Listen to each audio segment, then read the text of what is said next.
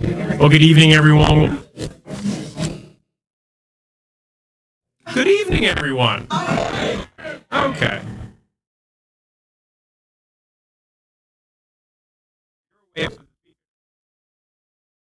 I'm Paul Levin, president of the Marshall Foundation. I hope you all had a great summer. Thumbs up. You ready for fall and some of the heat to go away? Also, thumbs up. Pretty good. Well, we had a very busy summer here.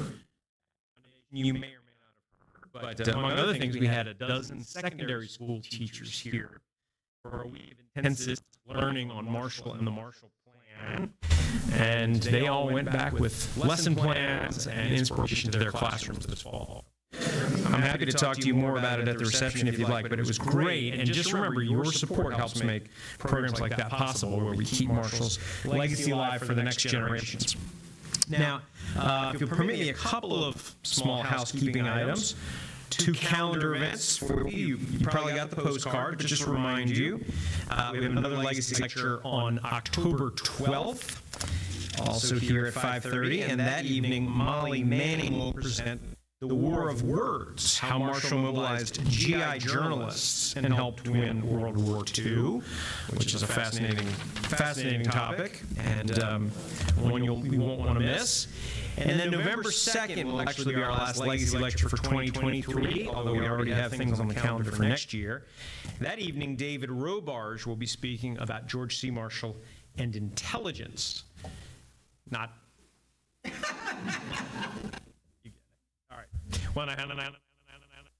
uh, and there's more information about them on the website or on the card that you should have gotten in the mail. Thank Dominion Energy for being the sponsor of the Legacy Series and a great partner to us at the foundation. We're very grateful to them. And as always, if you have one of these, please turn it off, turn it down. Here is uh, the right of the or whatever your uh, ringtone is in the middle of in the middle of our talk. And one final note: we are again. You might notice the equipment keeps changing. And this is to try to um, grow our audience for this lecture away from Lexington. So, again, we are joined by people online on our YouTube channel. So, we say hello to them, joining us from wherever they are in the world. And as a reminder to those of you on YouTube, the chat feature. Ask And at the end of the lecture, um, we will take the least snarky, most intelligent of, of those questions and answer them. Um, or you, you just email Melissa Davis at librarian, marshallfoundation.org, and uh, she will be passing those questions on to the speaker. Our speaker, Thomas D. Arnold, is a U.S. Army instructor currently assigned to the Corcoran as a Goodpaster Fellow a program named for a distinguished soldier and longtime Marshall Foundation board member, General Andrew J. Goodpaster. So a nice little unexpected connection, but uh, we're, we're really glad to have Tom here. He's a second year PhD student examining Army media relations from 1939 to 1959. And his research interests focused on, focus on modern American military history, Cold War, in African American history. He's originally from Shreveport, Louisiana, and has served in command in Germany, Iraq, Afghanistan, Louisiana, and the Pentagon. He uh, impressively holds graduate degrees already from Louisiana Tech and Harvard. And after completing his studies at UVA, he will return to duty with the Army as a strategic planner and a policy advisor. Please join me in a warm welcome for Tom Arnold.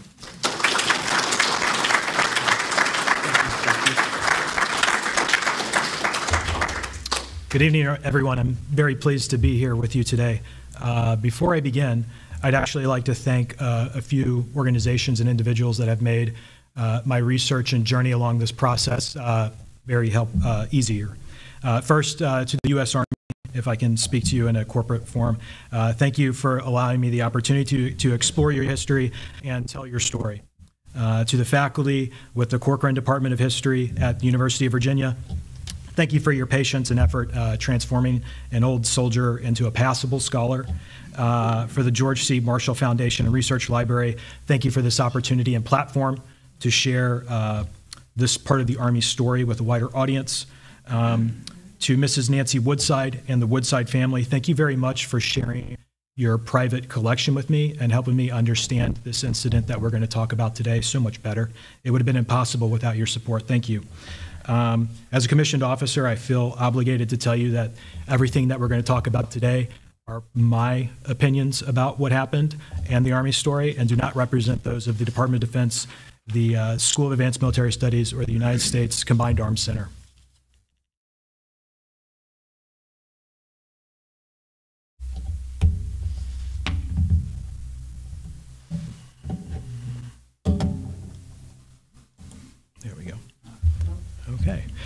So, in 1916, s- services must be avoided. Several are quite. Billy Mitchell's court martial in 1925, the bonus march in 1932, and General George S. Patton striking combat fatigued soldiers in 1943 feature prominently on the page alongside more forgettable characters and events that have since faded into obscurity. Sometimes a simple, now forgotten name was enough to recall an embarrassing episode. General Bennett Meyers was simply identified with no explanation. His name alone was sufficient. Other entries seem misplaced entirely, highlighting actions that do not appear too controversial today, such as the short lived period when the Army loaned pilots to the airmail service. Compiled just six years after World War II, half of the memo's entries focus on that war. war. Recording fiascos the Army could have handled better or would have preferred the public never learned about. The Army's World War II troop rotation policy is an example of the former. Transporting Madame Chiang Kai shek's perfume and other luxuries over the hump is an embarrassing example of the latter. On a list of 16 episodes, one entry stands out because of its bizarre name General Ben Lear's Yoo-Hoo episode.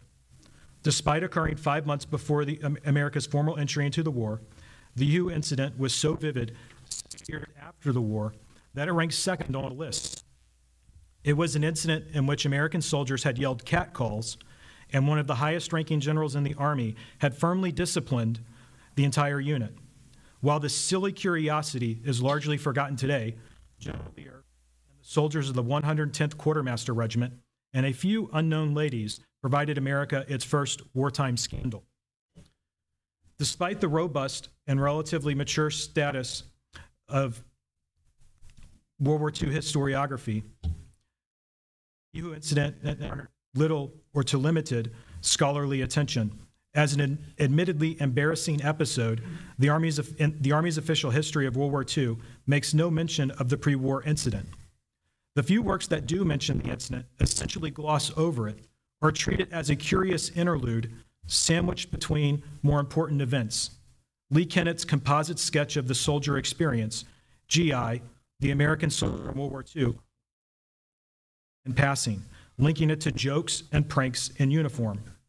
Paul Dickson's recent The Rise of the GI Army, uh, the incident is merely a speed bump between the Army's major pre war training maneuvers of 1941. Aaron Hiltner's Taking Leave, Taking Liberty provides the most comprehensive treatment of the incident, linking it to broader patterns of soldier misconduct on the home front throughout the war. However, the soldiers' behavior in the Yoo-Hoo incident was a far cry from the sexual crimes and indiscretions of some GIs later in the war. In its own way, the incident offers a prelude to the complex relationship between the wartime government when, when, when,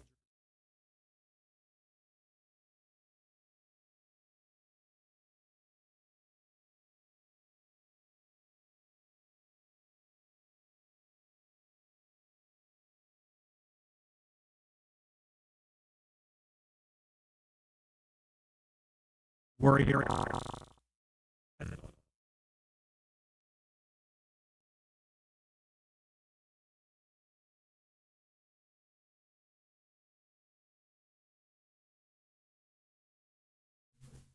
The controversy to discipline his soldiers for their loose conduct. Although the episode began as a military incident, it quickly into a public affair that revealed more about Americans than it did their army. At the surface level, the affair appeared to be just another flashpoint in an ongoing controversy over women's attire and public behavior for men. The incident struck a nerve with many because of social progress and changing norms, but the most important aspect of the episode was the public debate over the Army's treatment of citizen soldiers. The U incident was a moment of rupture between the old Army and the American people, when the public's desire for a democratic Army were dashed by old fashioned military discipline. The Army had not changed to accommodate soldiers. For others, the incident proved that their fellow Americans knew nothing about the Army or a soldier's business. No matter which side they took, it seems that almost everyone had an opinion about Ben Lear's Memphis affair and, and was willing to share it. Before social media, newspapers did more than report the day's events. They served as a public forum. Americans aired their opinions in the papers for all to see. Editorials, op-eds, and letters to editors. Current events, especially the Yoo-Hoo incident.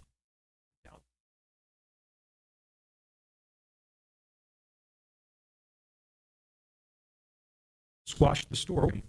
Newspaper archives comprise the bulk of the public record related to the incident, but they are more than a catalog of what happened between General Lear and his soldiers. Papers reveal the moment when the Army truly became our Army in the public mind. The U incident is when Americans finally took ownership of their post-draft peacetime Army.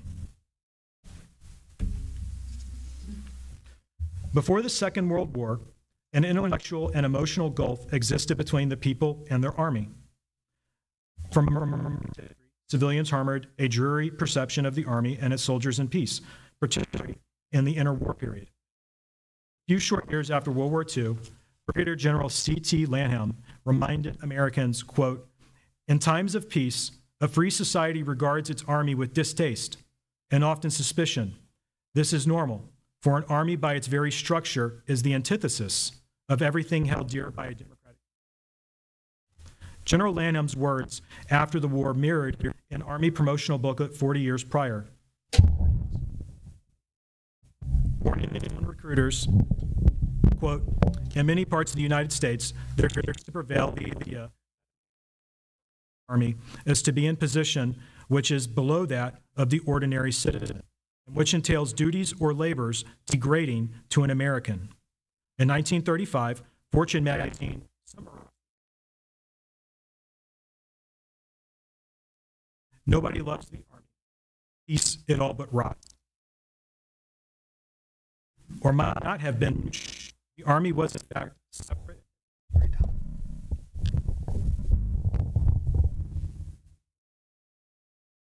Isolated from the rest of America by virtue of its posting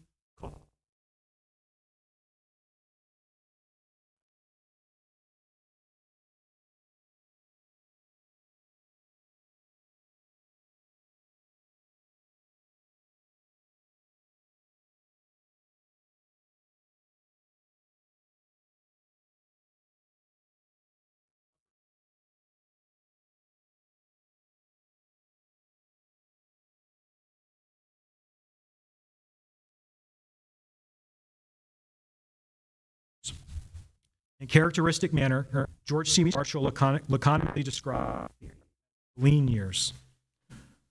Fortune magazine estimated in 1935 of the interwar period, America 300 million a year for an army that did not option as a. Times were indeed lean, not just for the service. Congratulations.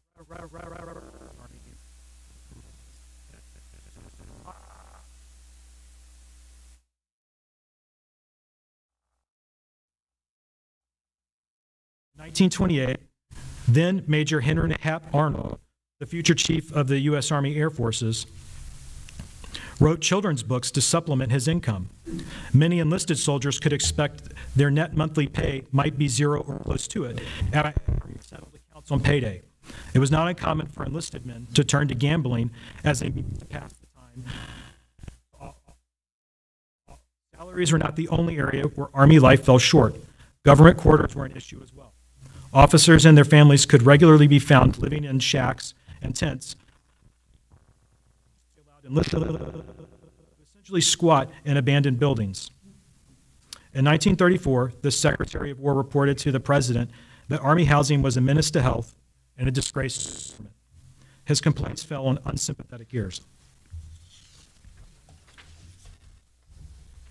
Congress and the public were generally uninterested in the Army. Public did turn its attention towards the Army.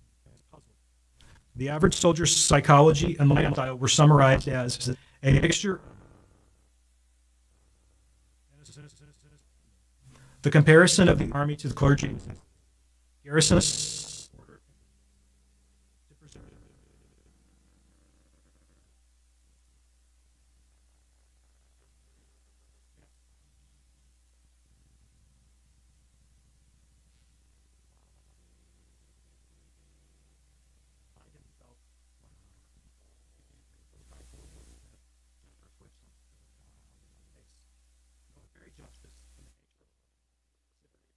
Prerogative and rarely caught the attention of the American public.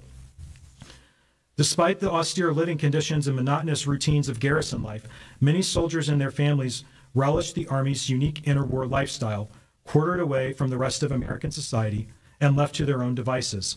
The public, who would normally be indifferent to the Army in times of peace, were more so between the world wars because of disillusionment with the American experience in the Great War and the economic plight created by the Great Depression. Recalling the interwar period, one former reserve officer considered the average American to be tax burdened and uniform weary. Following Congress authorized partial acquisition of modern equipment. As the Army got smaller during the lean years, its soldiers hunkered down, focusing on their careers and family.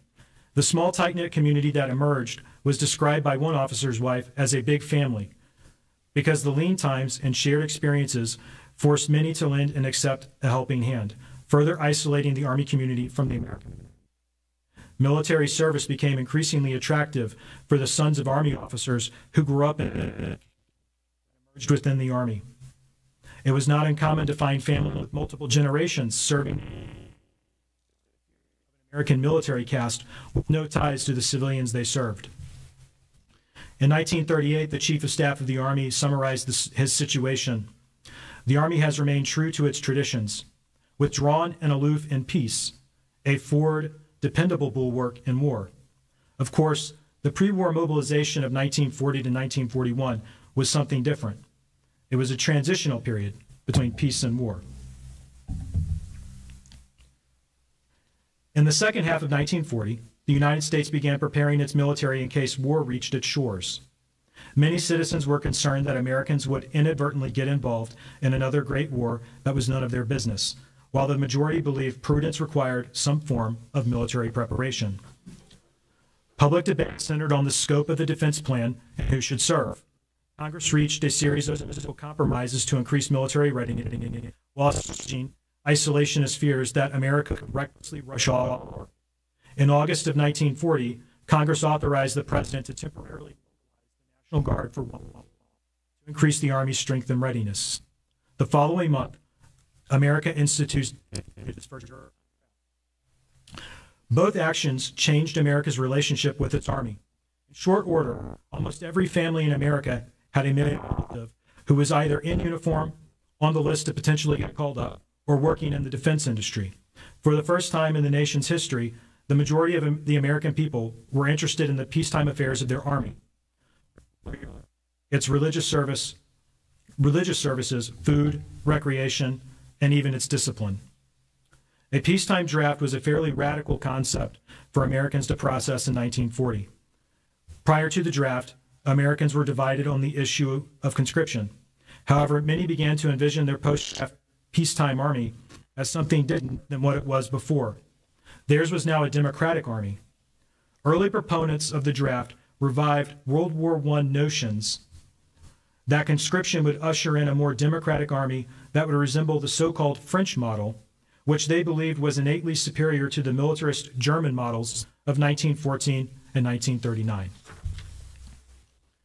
They also believed that the infusion of citizen soldiers would produce a more egalitarian military that mirrored the individualistic American spirit by eroding what many perceived to be the aristocratic vestiges of the Army's hierarchy, customs, and traditions. One nationally syndicated columnist dreamed every soldier must be an individualist. Under this system, you cannot make a good fighting man through old fashioned methods of discipline, saluting, and close order drills. So all that stuff will soon be out of the military window. A Democratic Army's discipline would be humanized, and leaders would keep their tempers. After the draft, the Democratic Army's worst enemy was supposedly Hollywood and its antiquated images of fire eating sergeants terrorizing helpless privates. Not everyone agreed with these radical visions of the Democratic Army. For some Americans, the Army should or could not change its ways to pander to citizen soldiers. Strict military discipline was seen as a boon to the youth of the Depression years. How strict Army discipline remained after the draft was open to interpretation. Newsweek warned Americans not governed.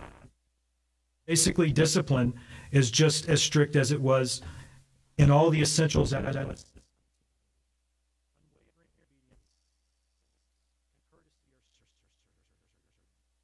essentials are falling by the wayside. It appeared that the citizen soldier could not kill hierarchy, tradition, customs, or discipline after all. As the draft progressed, the Army was caught in the middle of two competing visions.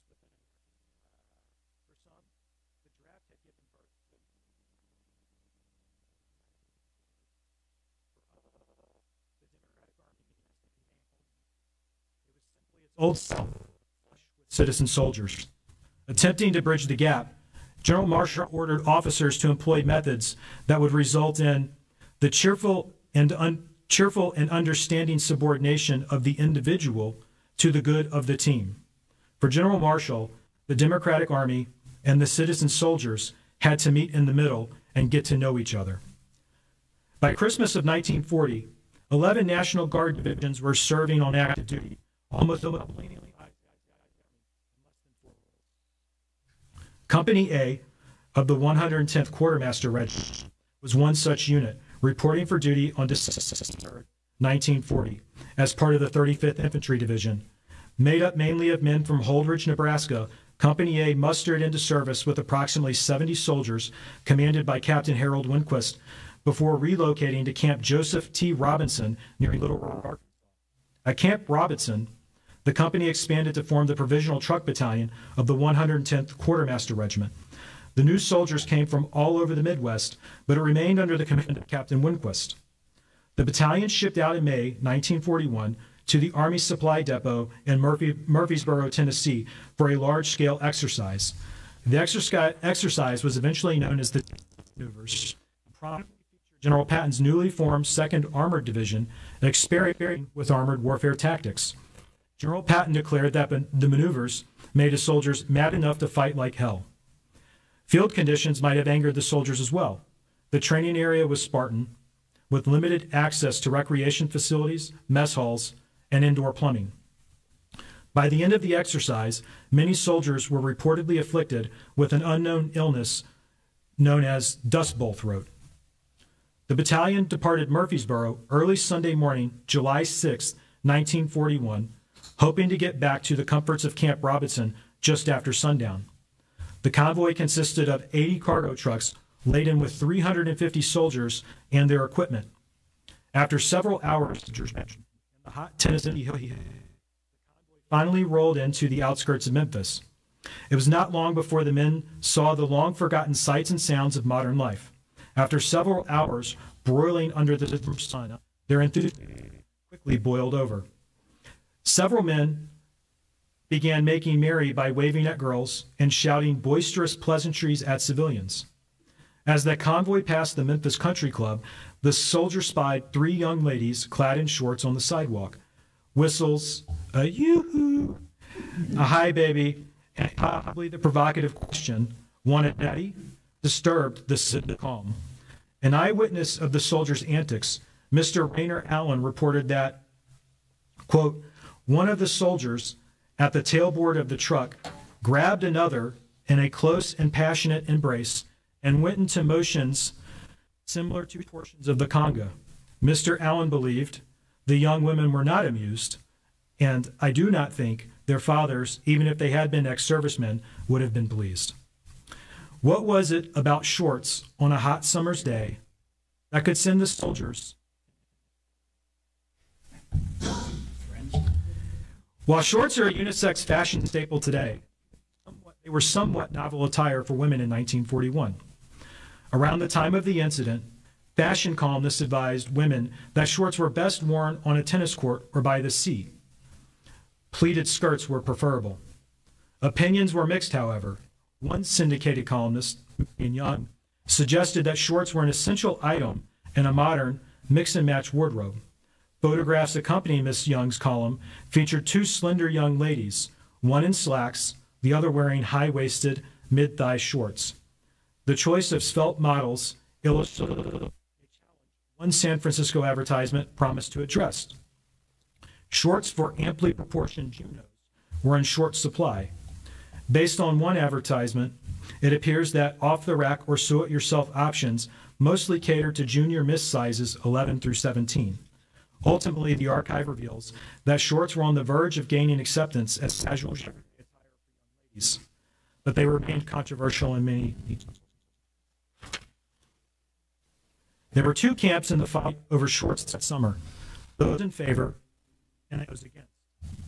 Both of to the papers and Sacramento Bee ran so many letters harping on the issue that one exasperated reader pleaded with his neighbors give us a rest on shorts. Coverage of a Mussolini's own war on shorts that summer, particularly shorts-clad senoritas riding bicycles.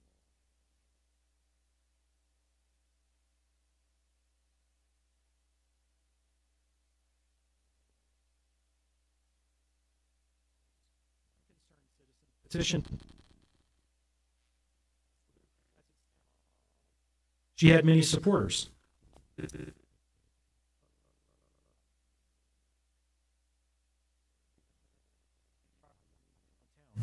And there seem to be few girls who can wear them attractively. Illustrated an interesting aspect of the anti shorts movement. The anti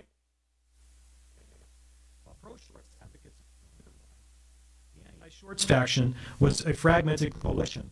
Opposition was often conditional, depending on the location, the occasion, the offender's figure, or a combination of all three. Miss Moore believed Beavertown Parsons should be off limits to shorts, but did not mention other Many men and women in Sacramento, California, agreed it was crude and vulgar for women to wear shorts in their city while public officials in Redlands, California, remained undecided as summer temperatures soared. Some advice columns counseled readers to consider the occasion as well as location. Shorts were deemed inappropriate attire extended stay house guests. The belief that shorts make the hotel look bad.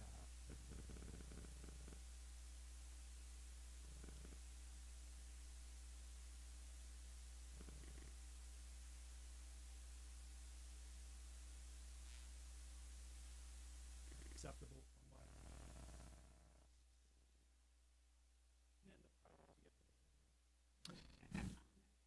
And I quote, heaven forbid.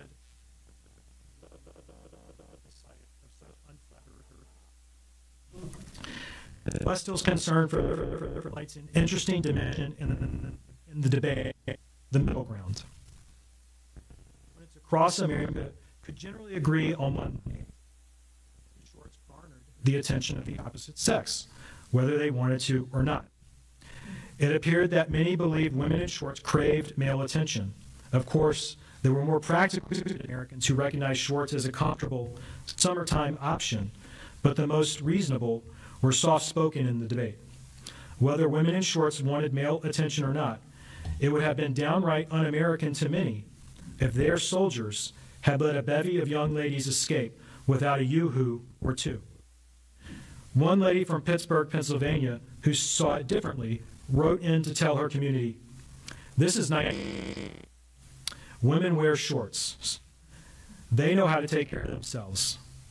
But she ended her letter on a cautionary note. Men, don't show your feelings. As the convoy's antics crescendoed outside the Memphis Country Club, a leather-faced golfer was getting ready to tee off. Soldiers "Or," the gentleman's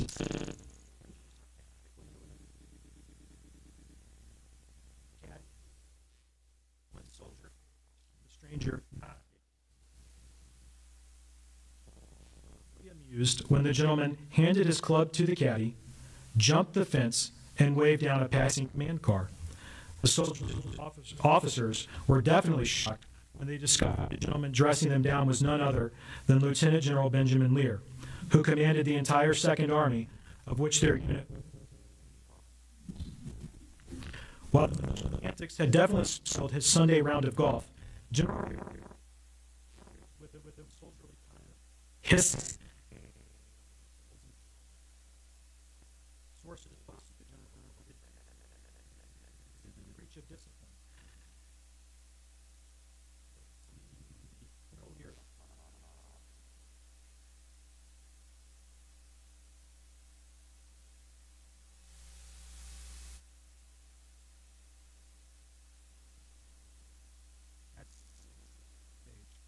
Lear was one of the most senior officers in uniform, in rank and age widely recruited as disciplinarian of the old school. In 1898, then Private Lear enlisted in the 1st Colorado Infantry Regiment during the Spanish-American War. Himself from his peers and was rapidly promoted to the rank of first sergeant, his senior enlisted leadership position. It was in this position that First Sergeant Lear commanded his own father, a private in the potatoes, for, for complaining about his lot in life.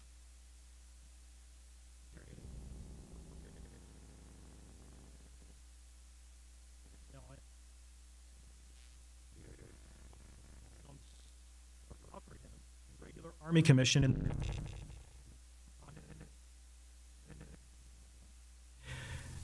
he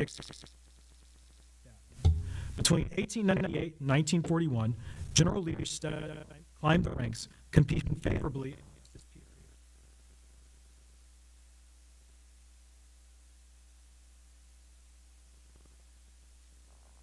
Serving a mix of overseas and domestic. General Lear's overseas tours included the Philippines, Cuba, and Panama. His domestic instructor positions. General Lear chased bandits on the Mexican border in 1960, 1960, but rode out the Great War on a dead. One fact about the old cavalry. He won a bronze star. Uh, he won a bronze medal in the 1912 Olympics with the U.S. equestrian team. Perhaps that is why he continued to wear his cavalry boots long after they had fallen out of fashion. In addition to being Lear was a rummy player, expert horseman, and an recreational habits were experiences. Army. Though they were generally more well-traveled than their civilian counterparts, servicemen lived austere lives in an insular society. Were necessary. Officers and their families were expected to endure in the name of the service. General Lear's only, only child, a daughter, was born in an army tent in Cuba. Although they were just as American as any civilian, the regulars favored duty, sacrifice, honor, and compliance over rugged individualism. To many civilians, men like General Lear appeared to be nothing more than martinets. But the officers who endured the interwar period spent the majority of their adult lives preparing to raise another army of citizen soldiers to defend democracy. With almost 1.5 million drugstore cowboys in uniform, the U.S. Army in 1941 had plenty of dash, spit, and polish. Many citizens imagined the draft would infuse the Army with a more, more, more, more, spirit and enlisted men and a big happy family. However, training maneuvers revealed the Army needed quick football field obedience if America's youth were to survive on the modern battlefield. The regulars probably agreed with General Lear's public response to congressmen who questioned his methods. His response, quote, "A high state of discipline is the foundation upon which all military attainment is based. Loose conduct and rowdyism cannot be tolerated. So long as I am the commander of Second Army, soldierly standards of conduct will be demanded of all individuals in uniform." With this in mind, General Lear probably wondered if further action was required to teach as the convoy pulled away. As soon as the soldiers returned to Camp Robinson,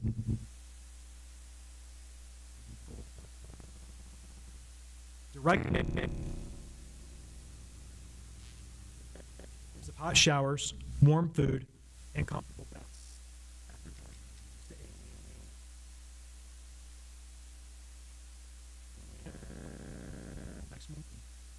July 7th, 1941.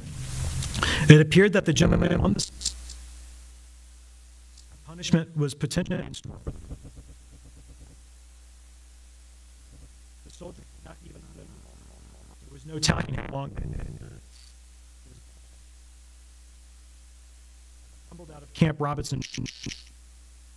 The men were so exhausted that one fell asleep at the wheel, wrecking his truck. After Third Road, the convoy pulled over to catch a two-hour nap before resuming at dawn.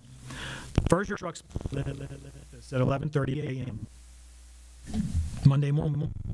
An hour later, officers and non-commissioned officers of the Provisional Truck Battalion, commanded by Captain Winquist, marched into General Lear's office.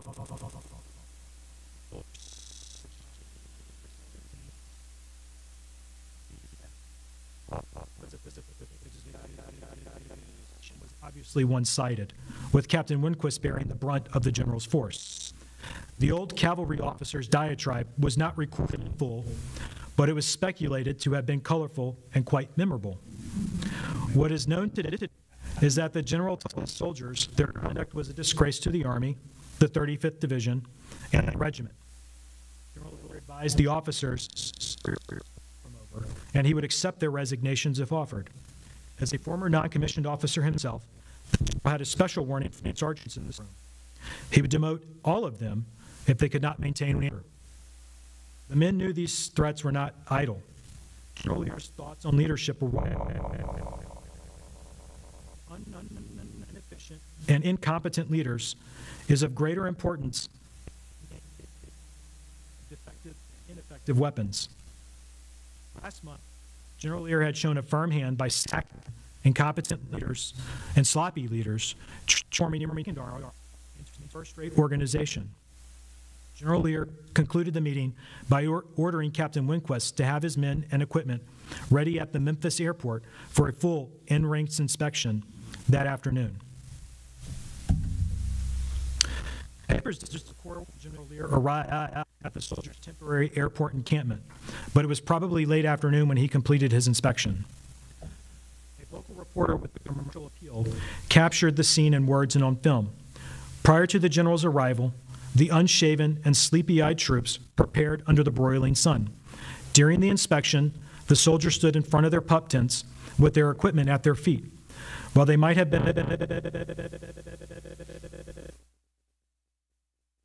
inspection, General Lear assessed the, tr- addressed the troops. His admonishments. Conduct.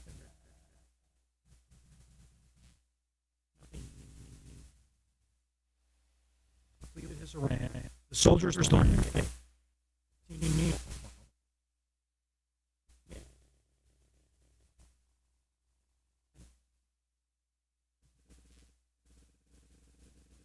Fired her. 1941, perhaps. Orders were already starting to swarm. The commercial appeal was present to see how it started. Packing equipment and massaging feet in anticipation. Corporal Esco A. Brooks could barely hide a grin as he rubbed the sole of his right foot. Boy Scout the Force. But perhaps 15 miles too much to ask of the truck drivers, clerks, and mechanics of the 110.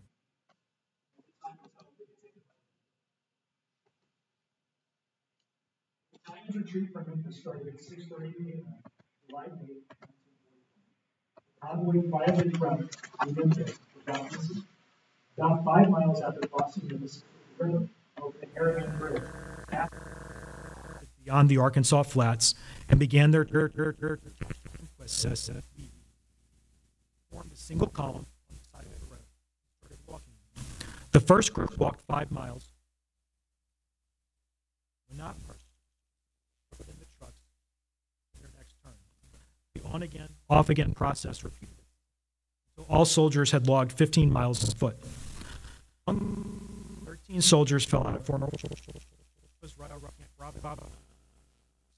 He had just been released from the hospital. Perhaps he was recovering from Dust Bowl throat. For the rest of the men, a dentist caught in the law. This was already medicine, that's fine. Aside from treating blisters and backaches, the lone doctor forced hydration. Draining a canteen or three was essential because the temperature reached 97 degrees, making July 8, 1941, the hottest day in two years. After everyone had marched their 15, convoy cruised back home and was welcomed into Little Rock by crowds of soldiers and civilians. Blistered troops ignored their well-wishers, dreaming of hot showers and comfortable beds. Thankfully, the unit received 10 days 1941.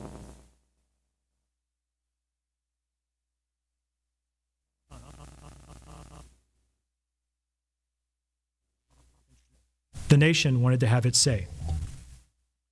If the Army had its way, the U incident would have died a quiet death after July 4th. Confidential War Department At the next Wire air,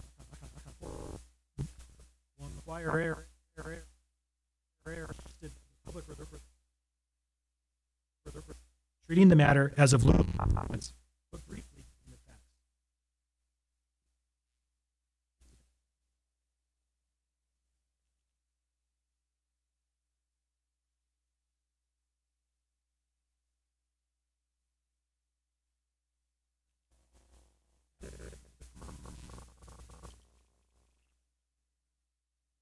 Featuring the best.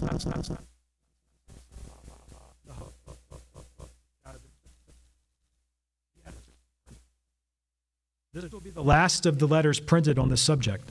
Contributions on other subjects are welcome. The commercial appeal was not the only paper to run a photo. Customers had to stay. Those that did not print letters, letters Did Americans think about the system? Similar to that summer's shorts debate, Americans were divided into two camps those who favored General Lear and those who reviled him. General Lear's supporters came from all walks of life and counted soldiers and others, as well as veterans, amongst their fold. The general's fans did not consider mass punishment an abuse of power. Indeed, many were proud that he took immediate action to restore their army. Soldiers deserved punishment for disrespecting their uniform and not the ladies. On the other hand, the editor of the Army Times and others believed the young ladies were victims, not the punished soldiers. Some even argued that the congressional hounding of the general was out of bounds, making General Lear the most unlikely of victims. No matter who the victims were, General Lear's proponents believed he was correct in restoring order and would have been so no matter what method he chose. After all, who should know a better way to discipline the troops than a three star general? In the eyes of General Lear's supporters, a Democratic army was not an undisciplined army. On a national level, the anti-theorists appeared to be in the majority. They were united, divided on why those methods were the wrong course. That innocent life without due process was one way of believe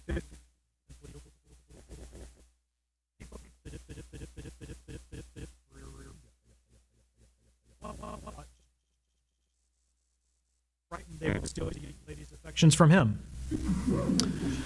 The most strident opposition to General Lear outside of Congress came from women, particularly the mothers of soldiers. Concerned mothers actively petitioned for General Lear's ouster, while some more that the scandal would precipitate his resignation. One incensed mother whose son passed out during the 15 mile march sought more immediate satisfaction. She wanted to slap General Lear's face. Clearly, the ladies were serious. A few incensed mothers and sore feet could not squash America's of parody. In addition to the generally unserious tone of much of the news coverage, the editorial pages lampooned the affair. One such editorial suggested that General Lear's actions were not in defense of his battered ego, or the young ladies, or the Army, but rather the millions of golfers interrupted by the hijinks of raucous spectators everywhere. Instead of disciplining his troops, General Lear brought out order and a quiet respect for the game. Perhaps the strangest response to modern eyes and ears were the jingles. Several writers satirized the episode in song and poem. The classic Yankee Doodle was repurposed in 1941 to skewer General Lear. The most creative jingle, reimagined when the foeman bares his steel, from the Gilbert and Sullivan's now obscure 1879 comic opera, The Pirates of Penzance. As expected, there were also political cartoons. No side was spared by the cartoonists of 1941. One of the more progressive takes had two young ladies asking a perplexed officer, Did anyone think to ask if we minded being yoo-hooies? In another cartoon, conservative were depicted by a reclining soldier pampered by his doting mother, asking, Did itty boy have to walk 15 miles?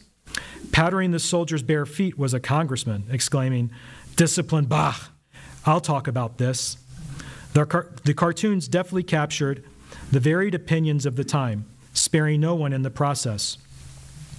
Ultimately, the humors captured in the archive reveal a kaleidoscopic image of America after the draft, but before Pearl Harbor shattered the peace.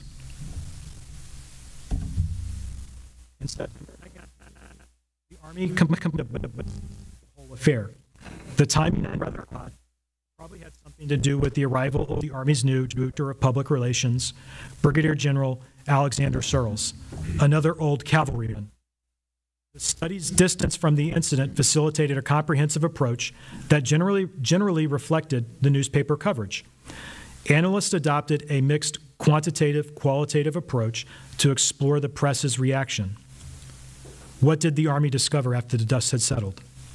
The Army graded 409 494 news stories accordingly. 0% were very favorable, 3% were favorable, 23% were noncommittal, 53% were unfavorable, and 21% very unfavorable. Army analysts also studied 170 editorials, which revealed similar treatment. 4% were favorable, 15%, I'm sorry, 4% were very favorable, 15% were favorable, 30% were neutral, and 25% were unfavorable. The bulk of the coverage that summer was decidedly negative. Clearly, General Surles and his newly formed War Department Bureau of Public Relations had their work cut out for themselves. Qualitative side of the study provided some clues. The Army observed that humor and satire mixed with criticism, increasing the speed of unflattering stories. It also learned that Congress, congressional grandstanding, and generals made for a volatile mixture. Finally, the Army discovered that American society was not homogenous. Army public relations had to account for, quote, indignant mothers, legionnaires, young women, and various other people. But it did not offer ready-made solutions. General Surles and company would need more time on the training to improve their tactics. The four-page study was informative as it was brief. What did? By exclusively focusing on reporters and editors, the Army failed to account for John and Jane Q. public. Yes, the Army recognized that there were more dimensions to American society than it probably liked. But what the study did not detect was the shift in its relationship with the American people. The hoopla revealed that the public was not only interested in the service, but they also wanted its affairs. The Army social contract was under review in July 1941. Americans were heavily invested in the post draft Army in a way that no pre war mobilization plan ever predicted. It was their Army now. To his credit, General Lear seemed to understand the shift in the relationship. When pressed by Army public relations officers to tell his side of the story, General Lear responded, quote, I can take it. I will not vindicate myself at the expense of the American soldier. He's going to be needed for bigger things than this. General Lear believed the war was coming and that his soldiers needed America's support for the real battles ahead. He recognized a personal defense would only have prolonged the episode. Public sentiment and sympathy had finally swayed in favor of the soldier, transforming the GI from a second class citizen into a heroic figure. Once Americans took possession of their army and accepted their soldiers as heroes, they needed a villain. General Lear was thrust into this unfortunate position. It became a role he could never quite shake. An obscure figure today, General Lear was very familiar to the World War II generation because of the Yoo-Hoo incident. The affair would haunt him for the remainder of his, of his life. In 1945, General Lear was welcomed home with jeers and sarcastic yoo-hoos as he dis- disembarked a troop ship in Boston Harbor after having served as General Dwight D. Eisenhower's deputy towards the end of the war in Europe. When a thankful Congress honorarily promoted General Lear to full general, that is, four stars, in 1954, the press recounted the episode in articles to remind their audience who Lear was in case they had forgotten him.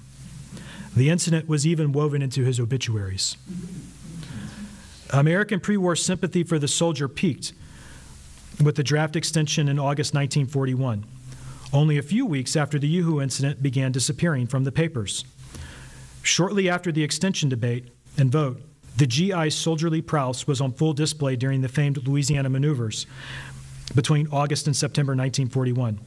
Surprising to many American, Americans, Lear's deft generalship during the maneuvers almost rehabilitated his public image, but the Yoo-Hoo incident was simply too powerful to overcome. It is easy to believe that the incident was remembered because it was such a silly curiosity, pitting good humored American boys against an egotistical, uniformed autocrat. But focusing on the characters obscures the true nature of the event. The Yoo incident was more than a commander disciplining a bunch of rowdy soldiers on a hot summer's day. It marked the moment when America's relationship with its army finally changed. That is the moment when it became our army. To their credit, the soldiers of the 110th Quartermaster were unfazed by the affair and went on to serve their nation with distinction. A few weeks after the incident, General Lear personally checked on his soldiers with another inspection. He came away impressed, proclaiming the 110th Quartermaster to be the best supply regiment in Second Army. The general apparently meant his praise because he singled out the unit again during the grueling Louisiana maneuvers by publicly recognizing their fine work, splendid esprit, and soldierly conduct. High marks from the famed disciplinarian. After Pearl Harbor, the 110th Quartermaster went on to serve in the European Theater of Operations and earned the Army's Meritorious Service Unit plaque in 1945 before demobilizing. While the U incident did not mar their service, it left quite the impression on the young men. In good humor, they adopted Yoo-Hoo as a lifelong informal motto of sorts. Just after their famous march, several men traveled back home in a car emblazoned with graffiti, proudly proclaiming their occupants to be members of the Yoo-Hoo Battalion and asking onlookers, Need a caddy, buddy? General Lear might have restored discipline, but his measures did not dampen the troops' spirits. While the episode's notoriety would eventually fade, the soldiers' attachment to the phrase never waned. The incident's surviving veterans proudly held their unofficial moniker long after their service ended, using it on their alumni newsletter and memorabilia. Thank you all for y'all's time tonight.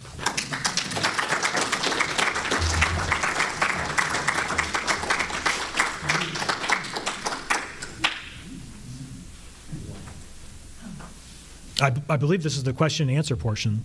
Uh, I don't know if we want to take uh, questions from the audience or if we want to jump to the people on the, the live stream or not. The audience first.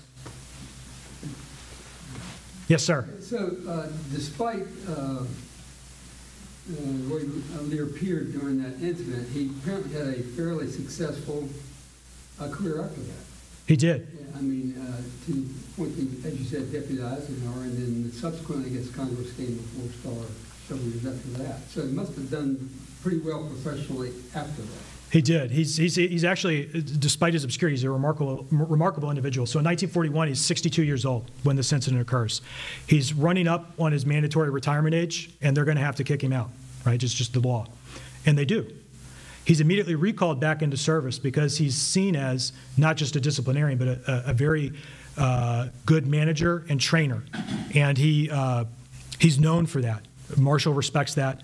Um, he gets he gets fleeted up after McNair dies um, during the war, and then eventually, uh, because the Army replacement system and decisions that were made uh, to with the the 90 Division gambles, so that we don't have enough, we actually start running out of troops during the war, and the the the potential to have to reorganize and refit units in theater to keep fighting Germany uh, was a huge concern for Eisenhower. And Marshall sends Lear to Europe to actually get a handle on everything in the rear and try to figure out how are we going to keep, if the war drags on, how do we keep in the fight? Because we were just running out of Schlitz at that point. So, but yes, it, it, again, his obscurity, uh, it, you know, it's noted, but it's kind of odd because he was a, a remarkable character and he was. Uh, I guess, in a way, vital to the war effort at, at multiple points. Yes, sir. Uh, Two questions. One, did he escape Marshall's uh, slashing the, of the General Officer Corps? Uh, Marshall retired, as soon as he became chief of staff, as I understand, he retired a bunch of officers.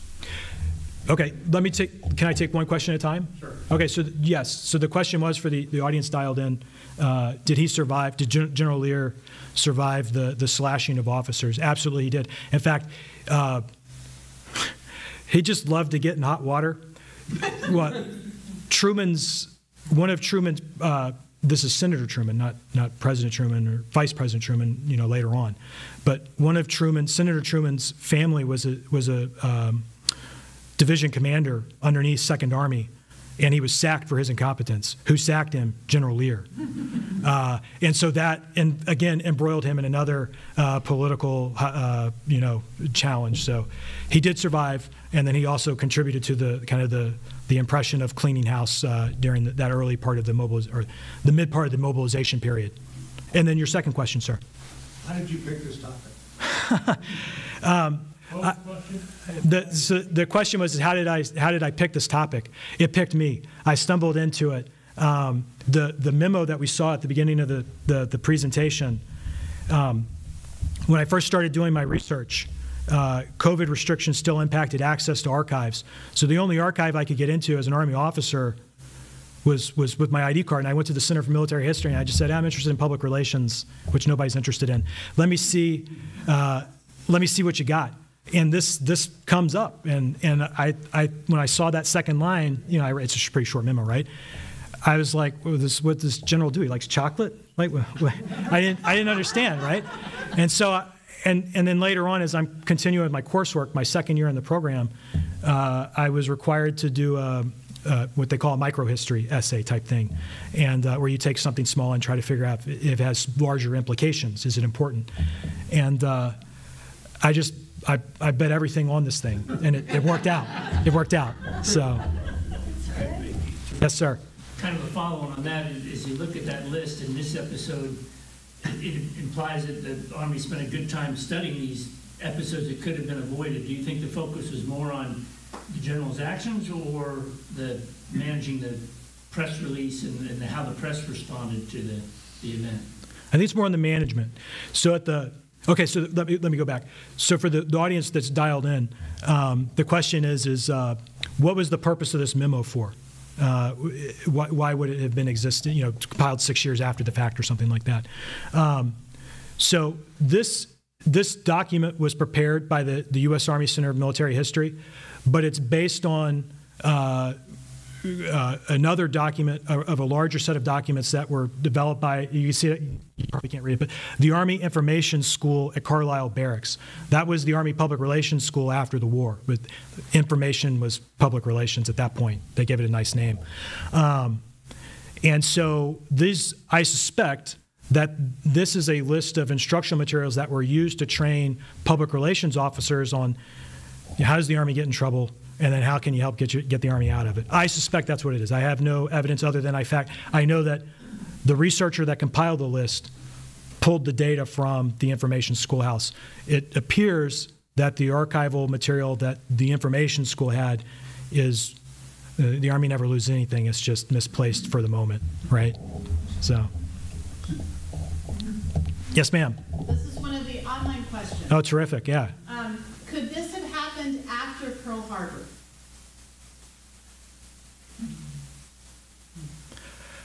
Yeah, that's a, that's a, so the, the question is, is could this event have occurred in, in, uh, after Pearl Harbor? That's an interesting counterfactual, right? So here's, here's a, here's a couple thoughts. I, I think, I think potentially. The, the issue had salience with so many Americans immediately because unbeknownst to General Lear and these soldiers, America and all these different communities, Kansas, multiple communities in California for sure, um, and, and in a, a few cities on the East Coast that I'm aware of, we're all individually debating, you know, can what, or should women be allowed to wear shorts? You know, that just society, different cities are all debating this. So it had salience at the moment when it occurs. Um, but there were competing images within American society for what a democratic army was, right? What it would be. Um, and I think that anything that would have sp- sparked outrage or had people concerned with the army and mass punishment um, and and other things. So I didn't get into it in the essay, but there was a lot of interesting thoughts about what a democratic army would be.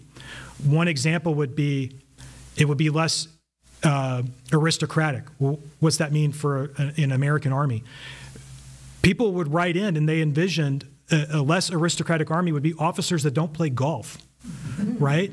Um, pe- people that, uh, you know, they, they were concerned about how soldiers were uh, fed, uh, how, how they, their religion and other things like that. And I think any incident that would have occurred that would have gotten traction, um, that would have rubbed, you know, that would have ripped the tarnish off or, or showed people that there, these, in some instances, outlandish concepts of a, of a democratic army, anything that belied that belief, I think would have sparked that incident because people would have debated and it would have gotten, it would have riled up, especially the, the veterans, the, the World War I veterans who thought these guys had it soft. Uh, so, good, good question. Yes, sir. I note that this had no effect on shorts, uh, part of the military uniform, summer uniform. Yes, sir. It- th- This didn't affect that. No, I, so, I'll, I'll, so the question is, is did it affect, or it, or the observation is it did not affect the, the Army's position on, on summer shorts uniform.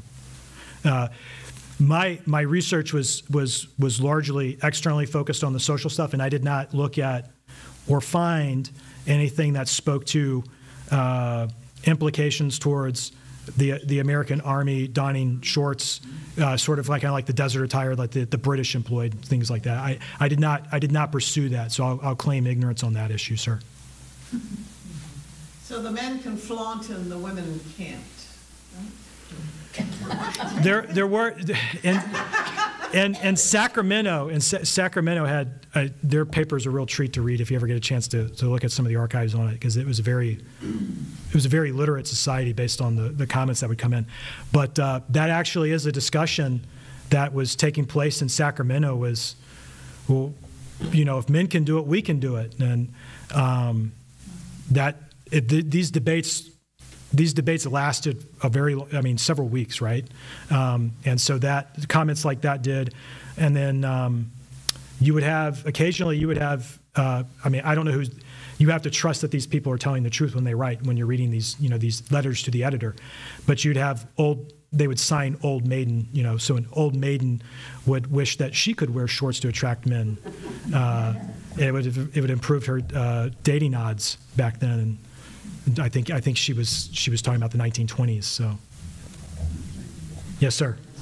Did the women themselves leave any record of what they thought? Did anyone interview them? Were they in the press about their reaction? Yes. So the, the question is, is what do we know about the women that were involved in this? it's, it's open for debate. General Lear's official report to the War Department does not mention any women on the street. So he's playing at the he's playing at the Memphis Country Club on Central Avenue in Memphis. Um, there was a party ahead of him with one woman playing golf.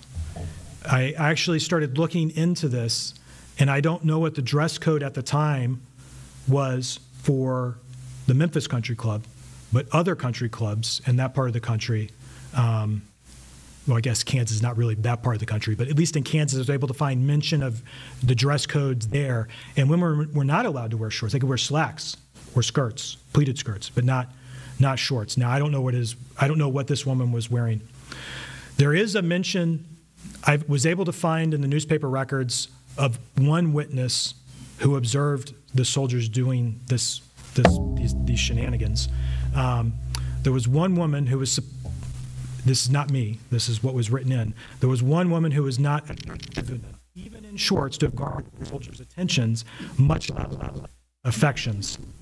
But the, the, the question that I struggled with was this, this is a this convoy is like 80 trucks, so it's it's it's stretched out. I mean, I don't it's not, probably not a mile, but it's it's hundreds, if not thousands, of meters long, and uh, so any eyewitness to what occurred that General Lear would have been privy to or witnessed is you know the, the reporters trying to track these people down is going to be pretty difficult. I do suspect that there were women um, I that that that were getting catcalled, um, but I, I I also believe that the incident as it occurred by General by General Lear was actually probably just them harassing him uh, because it did spoil his Sunday round of golf, um, and him having been uh, you know, a commissioned officer and an, a former NCO, his duty is to respond. If he doesn't respond and correct this, then he's set a new standard for his organization, and he would he would seemingly allow or tolerate this type of behavior, which is uh, unacceptable. Um, especially if he's, they're doing it towards women back then, even, um, and he'd corrected that.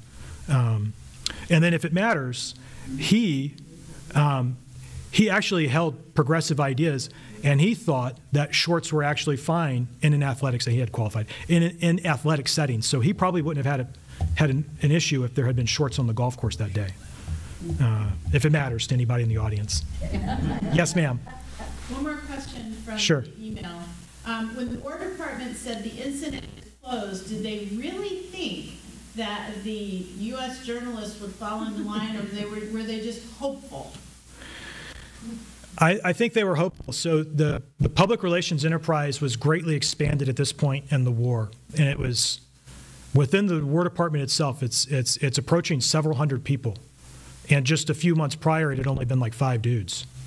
Um, now, as it expands, all of the military camps uh, are each assigned their own public relations officer, and a lot of times it was actually an office. So at Camp Joseph T. Robinson, so Camp Robinson in Arkansas, the the camp newspaper was called the Wagon Wheel. Uh, for the 35th Infantry Division, their their their patch is a wagon wheel. Uh, they actually put out like you're not you will not talk about this. So the, the Army's attempt at, at the tactical level was rather ham-fisted and blew up in its face because that became a st- story all of its own. Uh, I, I suspect that the Army was hopeful um, because the, the story lingers. So it starts July 7th. The, the press is hot on it, hot on it by 8 July. It's all over it on 8 July. It persists throughout the month of July, and it's only overcome by the draft extension. And there was an article published in Look magazine that talks about how low the morale was, and that's when you see the rise of the Ohio, the uh, uh, over the hill in October movement, or not movement, but saying, and and so that becomes the next story is like how low is morale. Um, these soldiers had pretty good morale, uh, apparently, um, even after the incident, and so that that that became kind of the next fiasco. And then you know it's kind of like the news cycle today. It's just one thing after the other, and nothing ever really seems to get resolved. And then after that, it's the the, the, the Louisiana maneuvers, um, and then morale come, becomes an issue again. But uh, I think that in July 14th, when the when the Army drafted that memo, it was more hopeful than actually like well, we can we can tell these guys to stop it. You know, I don't think they had that, particularly because the when that memo was written, it was written as the Bureau of Public Relations, the Army's big public relations machine, is actually undergoing a leadership change. The the the guy that stood up the organization, uh, General Robert C. Richardson Jr., is on his way out the door, and the the General Alexander Day Surles, who I mentioned in the in the presentation, is actually uh, about a month away from taking the seat. So the acting guy is, uh, at the time, he was Colonel Colonel uh, Lord, uh, wrote the memo, and that became the the War Department's policy. He gave that to, it went up to, it went to the public relations, the broader public relations department, but also uh, Stem, uh, Secretary of War Stimson and, and General Marshall also saw, got copies of it as well. Great question from the from the uh, from the, the world, I guess. Yeah, bigger than this room. Any more questions?